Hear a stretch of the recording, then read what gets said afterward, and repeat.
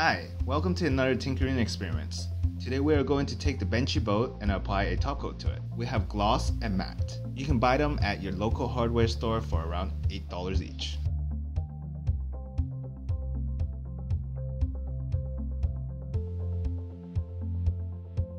Let's take a look at the boat before applying the top coat. The two boats already has a bit of a natural shine to it because of the filament. You can also feel each layer of the filament when you run your fingers across the surface. Let's apply the gloss coat first. According to the instructions, you want to spray it on evenly at around 20 centimeters away from the model. You don't want to spray too close because it will risk a chance of producing a milky fog on the surface.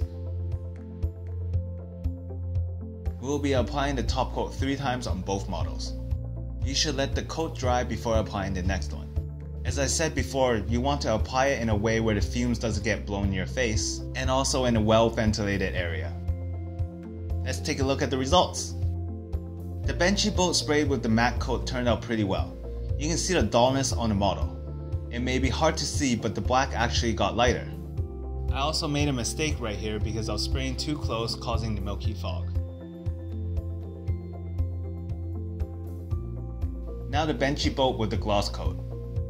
Applying the gloss top coat on the model actually made it more shiny and reflective than the print before. I also forgot to mention both prints are very smooth to a touch now, and it essentially eliminated the layers that you feel from before. Both of the models also have a chemical smell lingering around it. Well, there we have it. We post-processed both prints with top coats. They both turned out pretty nice. It's up to you on which one you like better.